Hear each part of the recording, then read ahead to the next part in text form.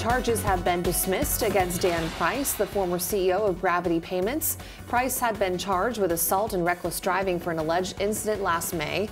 The city of Seattle dismissed those charges without prejudice, which means they could be refiled later.